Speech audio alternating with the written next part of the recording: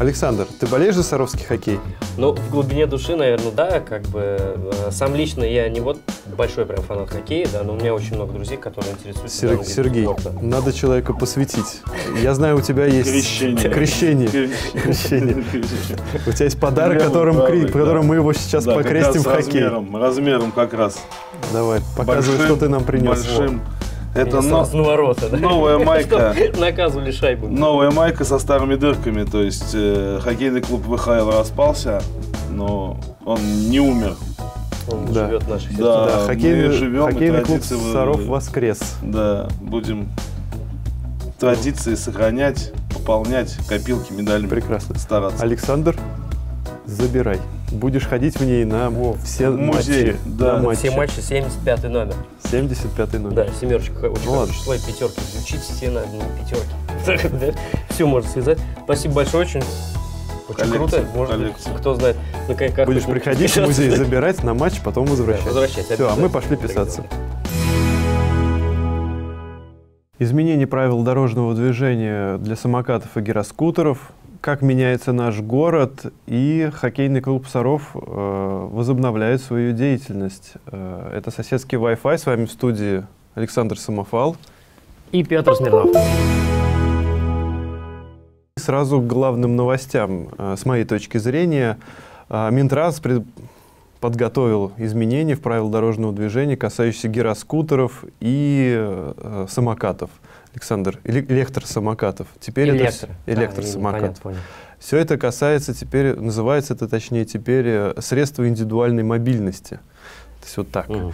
То есть это самокаты, ролики, гироскутеры э, и прочие атрибутика, которые перемещаются без двигателя внутреннего сгорания, но в основном ездит по там, тротуарам да, и не может перемещаться по э, обычным Проезжей дорогам, части. проезжей части. Да.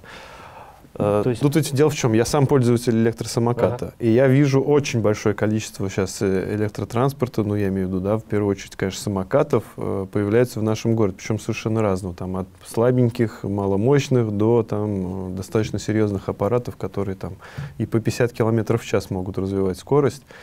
И раньше любой человек, стоящий на самокате, точнее сейчас даже, пока эти изменения не, не вступили в силу, он считался пешеходом. Есть вот Ага. едет самокат по дороге, он пешеход.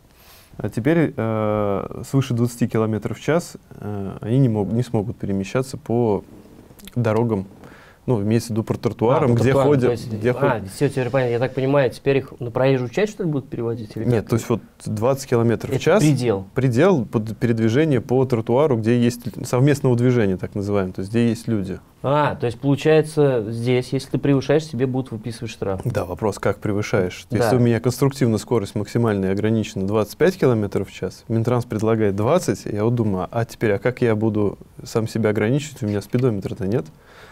Вот, и кто будет э, отслеживать, превысил ты скорость или нет. То есть это дополнительные будут, э, я не знаю, специалистов, отряд ГИБДД, который Ловит- чисто будет ловит по мобильным, да, ну, ловит ск- будут скутеры. стоять будут с феном так, чик.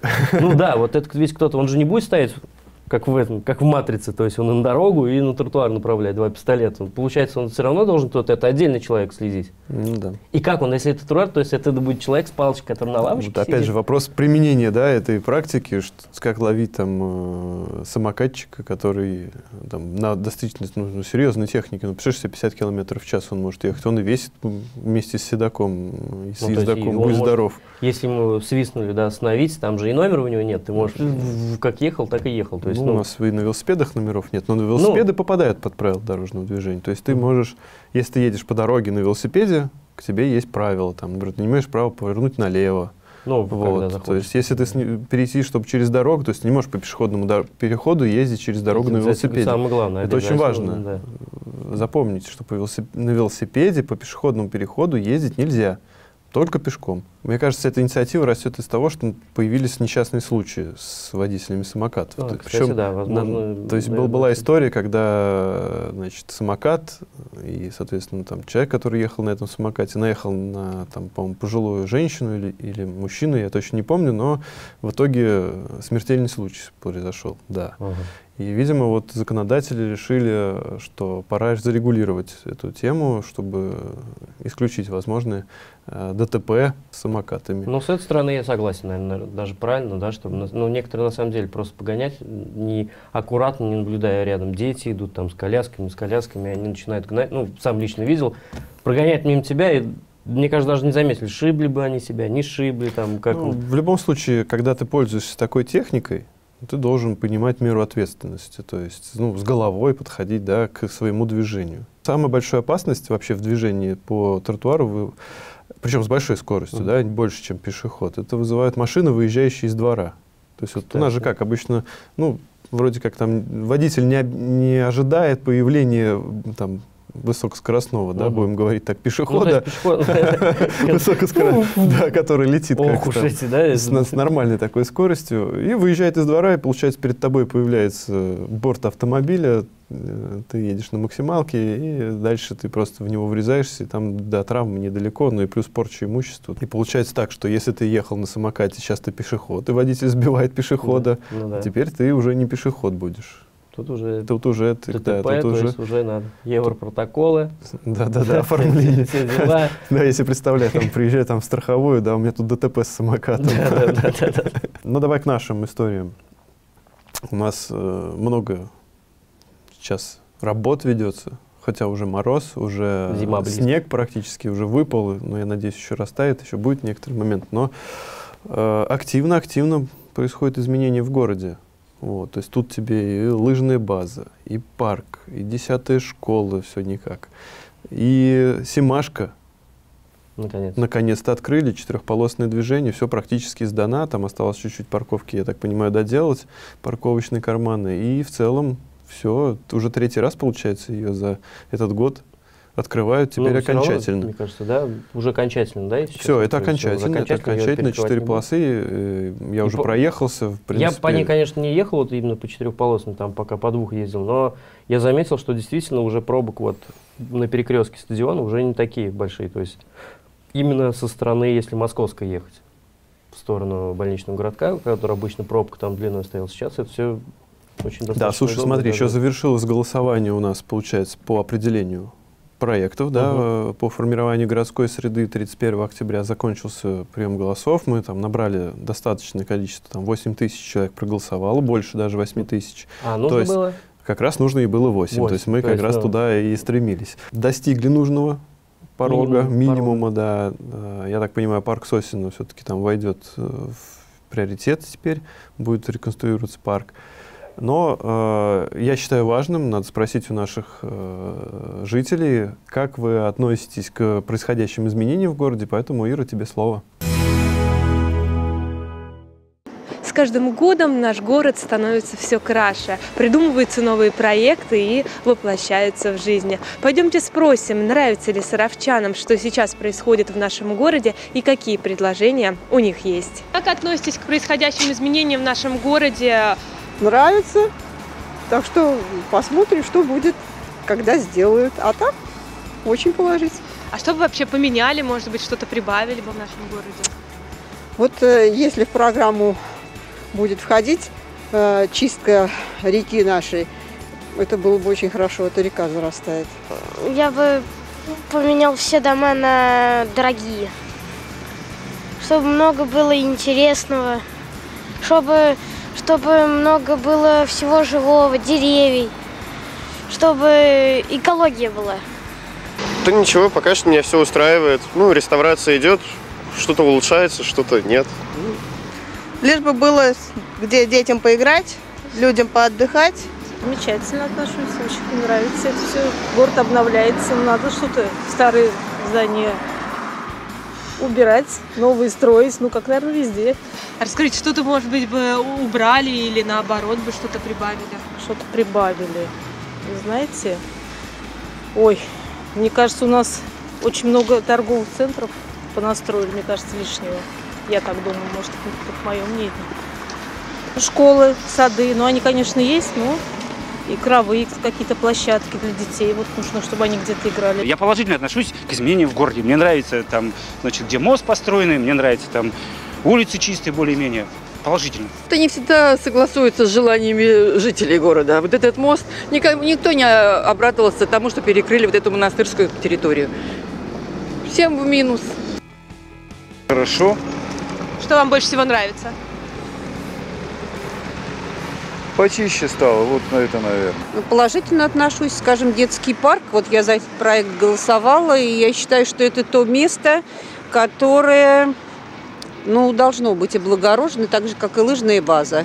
А, Значит, ну и предложение вот такое, что у нас в нашем городе, при том, что бывают очень массовые мероприятия и международные, ну, такого хорошего уровня, туалетный сервис у нас, как он был, поднимался этот вопрос, так он и остался на абсолютно никаком уровне. Если мы собираем такое количество народа, э, хоть на лыжной базе, хоть где-то, ну, понятно, в больших городах там подъезжает автобус, троллейбус, подсоединяется к канализации.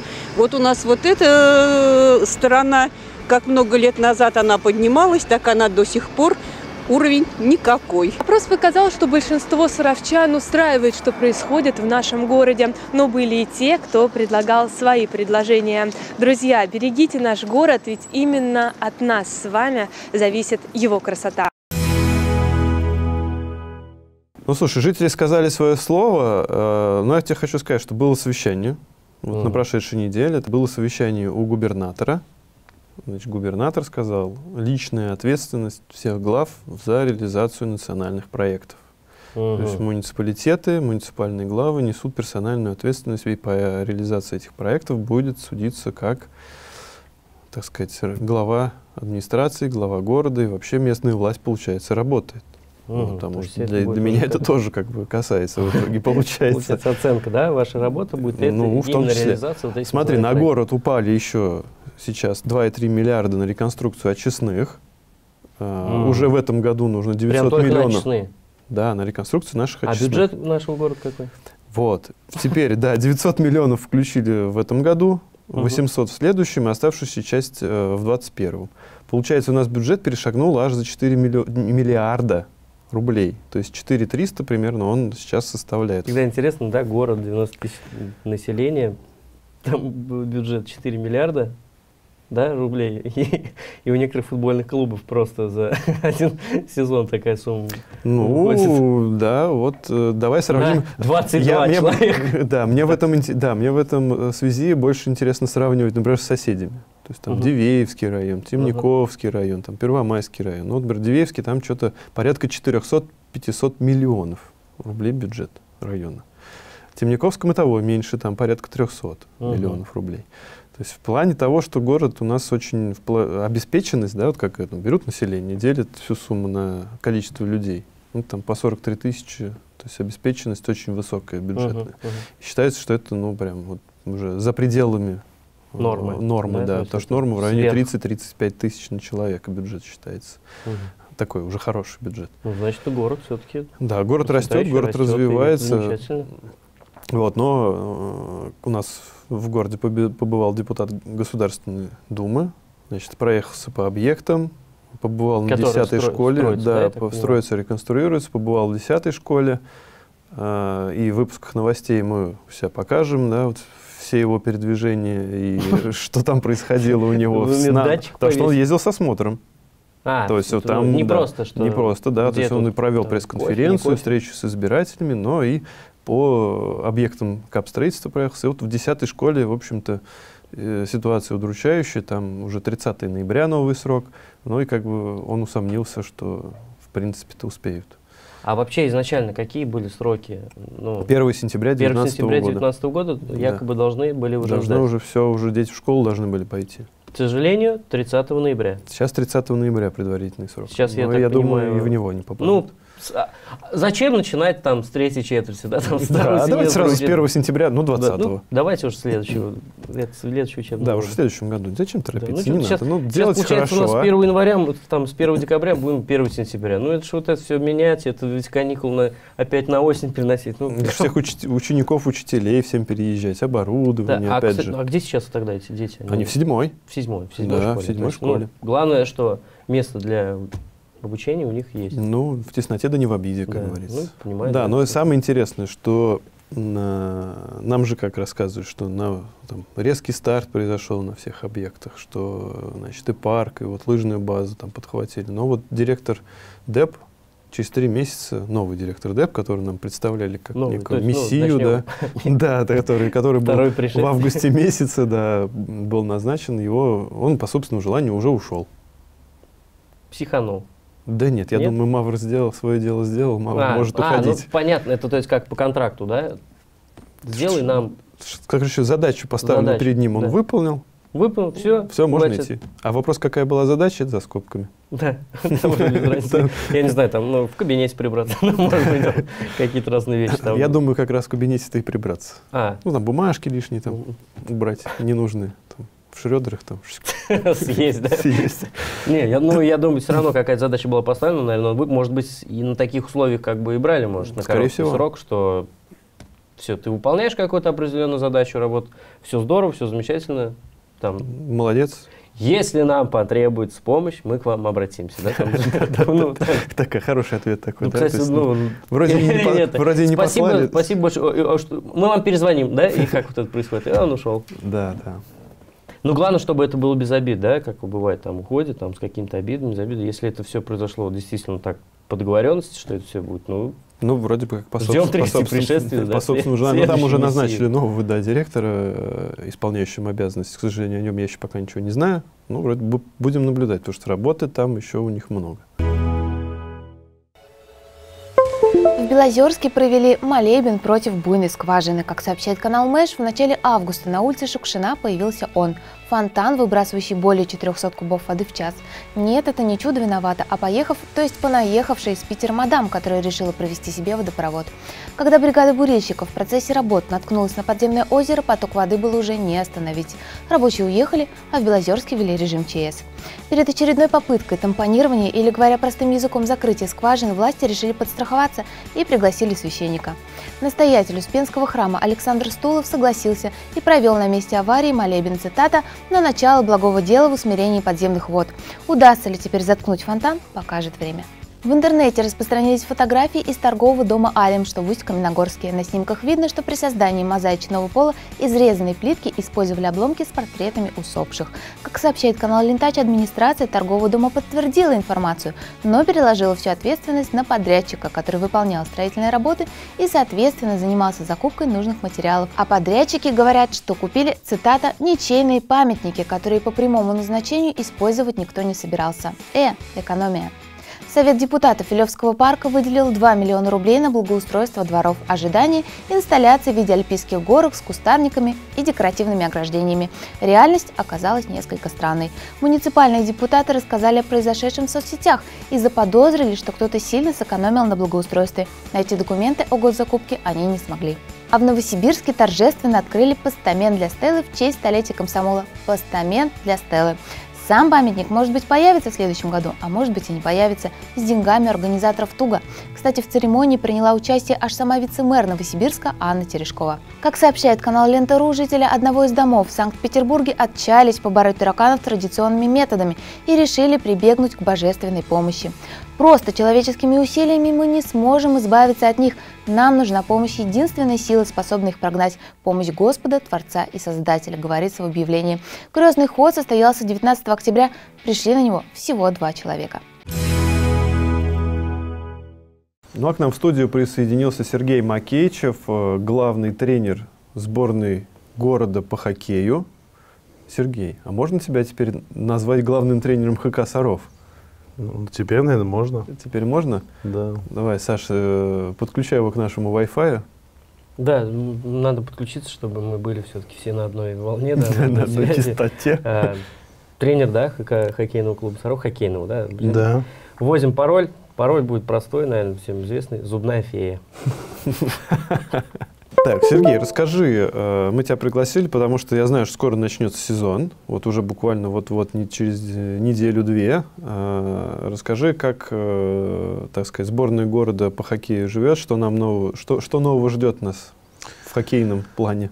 Хок- Хоккейный клуб «Саров», который был в высшей лиге, Да. он э, у нас переехал в город Нижний Новгород и называется теперь «Торпедо Горький». Мгм.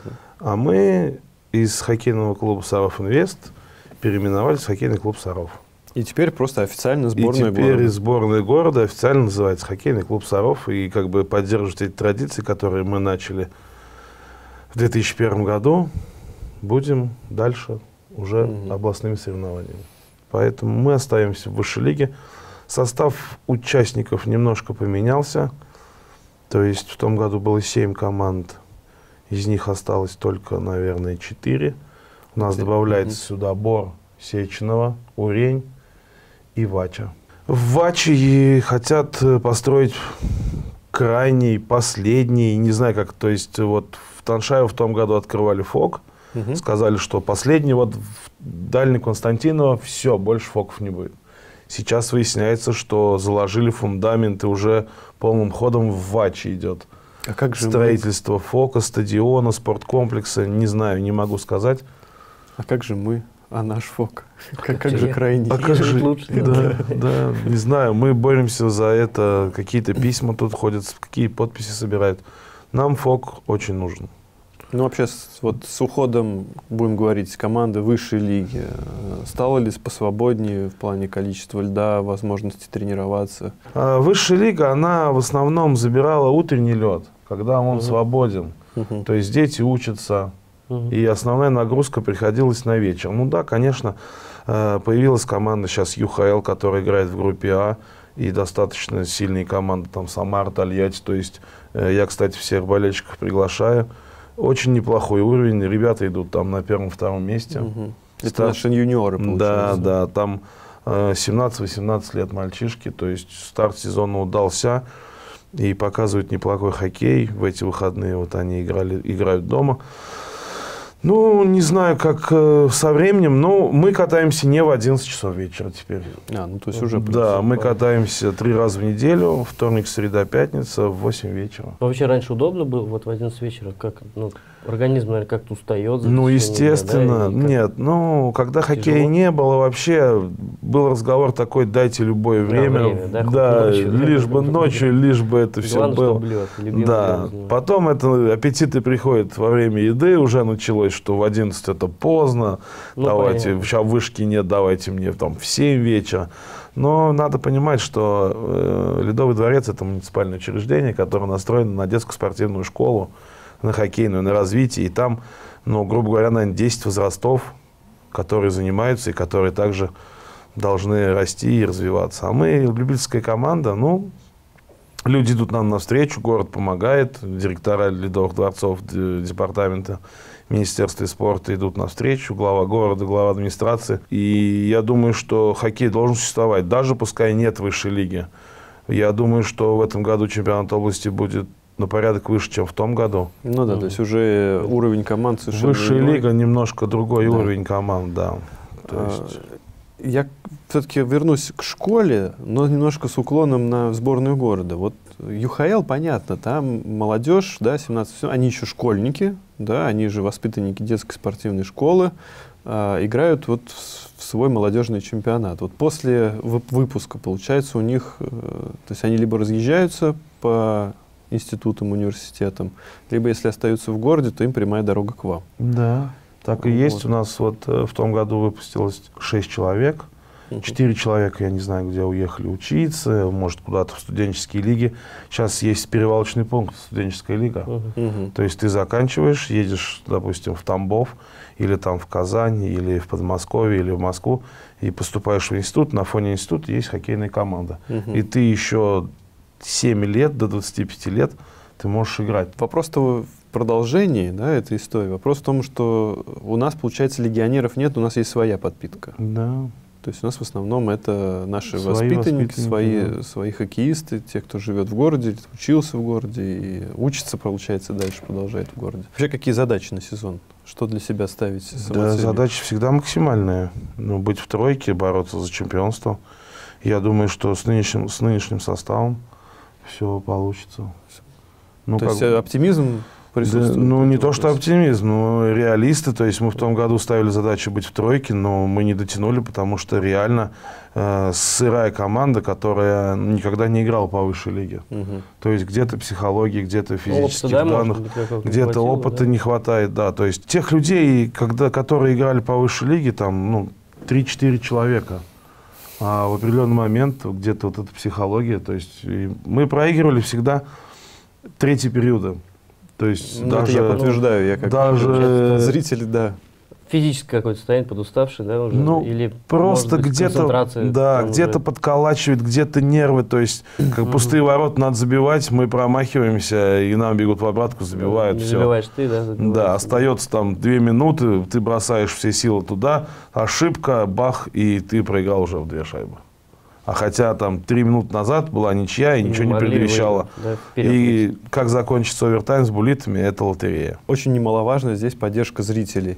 И был момент, вот я уже говорил, может быть, о нем, но был момент, я присутствовал на одном из плей-офф матчей, это, по-моему, был четвертьфинал, да, где просто завелась толпа, и э, там уже значит, начали заводиться некоторые, кто вот родственники, да, завели с собой свои, свои энергии, завели толпу и понесли, понесли зрителей вперед, и прям отыгрались, это очень было интересное зрелище. Конечно, да, скорости немножко не те, чем высшей, высшей лиги, лиги в профессиональном России, хоккее.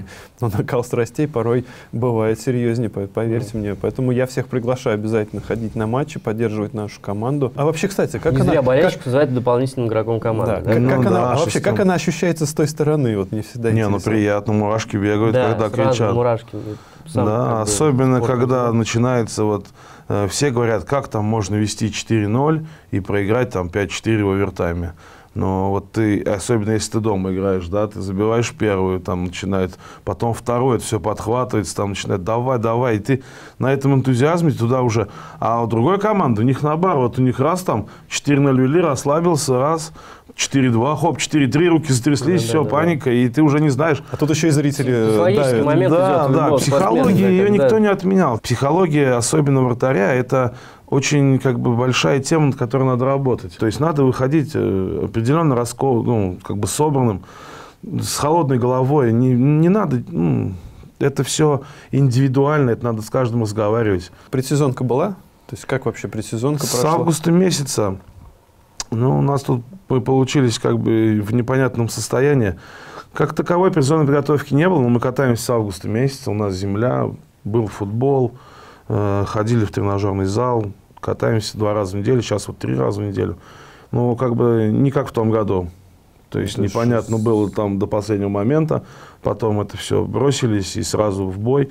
Нет, как бы, ну вот есть репетиционный турнир, сейчас 9 числа хотим э, с ЮХЛ провести товарищеский матч, как бы предсезонный. Mm-hmm. У нас все будут уже какая-то сыгранность какие-то звенья. Я думаю, надо зрителей да, пригласить, приходите да? 9 да, ноября. Да. Показа... Ну, как показательная, да? Так, да, как показательная Товарищеский игра. матч. Товарищеский ну, матч, ну, да. Просто может при закрытых дверях пройти, а может... Нет, при... нет, мы, у нас всегда все Свободно, открыто, да? все прозрачно, да. Это было уже летом, когда ЮХЛ провела определенный этап операционной подготовки и перед сезоном сыграть как бы сильным соперником. Ну, мы только вышли, там по два раза покатались, они нас обыграли. Не помню, там не с очень большим счетом. Вот, а сейчас как бы будет, я думаю, сейчас что результат будет другой. Реванш, да, нужно. Да, нам, и нам надо как да. бы реабилитироваться. То есть там мальчишки маленькие, 17-18 лет, у меня, ну, тоже есть там 19-20, но основная масса там 25-30. Поэтому и, и люди поиграли. Ну, и люди... Да, это свербит, свербит. Я да, да, да. У меня больше свербит, мне кажется, чем у них. Но посмотрим. Как бы в планах в, есть, с тренерами разговаривали, сейчас ну, либо 9, либо 10, либо суббота, либо воскресенье, посмотрим, как удобно будет.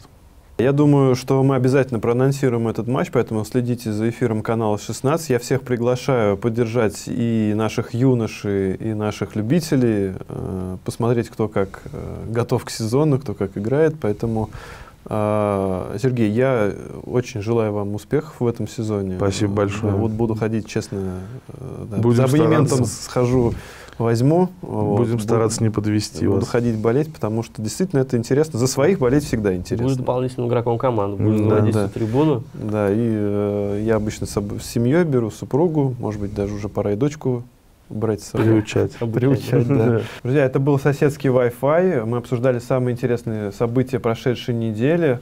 А, с вами в студии был Александр Самофал, Сергей Макейчев, главный тренер ХК «Саров» теперь, да. и Петр Смирнов. До встречи через неделю. Пока-пока. Болейте за саровский хоккей.